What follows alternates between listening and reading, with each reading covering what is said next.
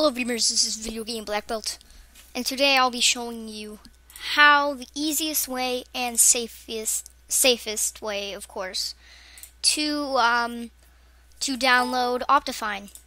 Now, what you're gonna want to do first is I'm going to be have to showing you proof that I don't have really anything, you know. All this is like it should be raw footage except my thumbnail and stuff and I might edit some music. Probably won't because uh, you haven't been hearing me recently, but I'm going to be starting, and yeah. So anyway, um, I have Optifine right now, so I'm just gonna delete it. So now that I deleted my Optifine, I'm gonna go want to go to there. Um, I'm one second. I'm going to be showing you this, and yeah. So. You're going to want to go to Optifine. It'll be in the description. I don't know how much you can see, but it'll be in the description. So, uh, just go to the description, click on Home, uh, and then kind of read this stuff. I don't know. Uh, click on Downloads if you want to go to Downloads as soon as possible. What you want to do is you're going to probably want to download whichever one you want. Um, I'm going to download Standard but I'm not sure about Ultra. Ultra might not work, but I'm not sure. Anyway, you're gonna want to click download. It's gonna give uh go to this AdFly, and you're just gonna kind of wait five seconds right here. So I'm gonna skip ad. Now I'm going to click on download Optifine 1.6.2 HD uh, S7.jar. Um, I'm going to click on keep, and then we're going to click on show and actually we're not. We're going to just click on it, okay? And just going to wait.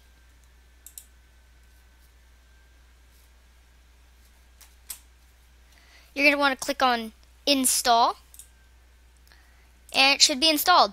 Now, as before, you uh, ads. As before, you saw that I had uh, deleted Optifine.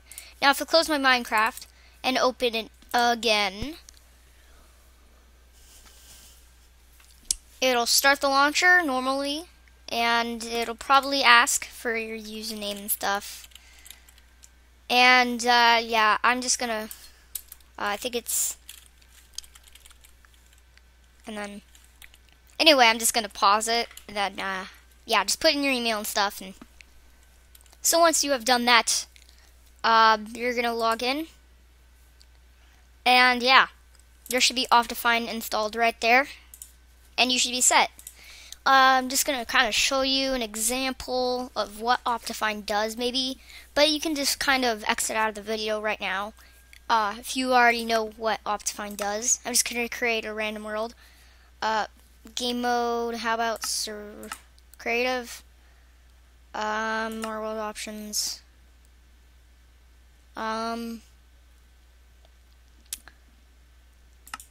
I think, how do I put on sheets? Oh, okay. Create new world. I'm just going to create it.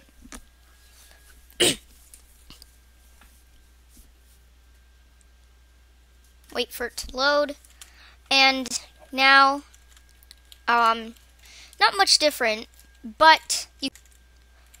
Uh, sorry, I, I, um, you originally have your control set to control. Um, but if you want to set it to anything you want, you can set it to Z, which I always do. So yeah, you can just kind of zoom in and stuff on stuff, and um, it makes it more, it makes it less laggier like you can turn off um, some stuff. Like you can turn off uh, animations, details, performance, blah blah blah, fog.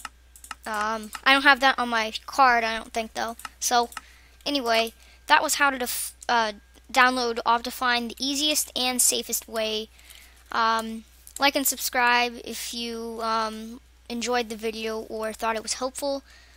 Also, maybe comment down below if it worked. If it didn't work, then um, I'll answer your comment and uh, help you.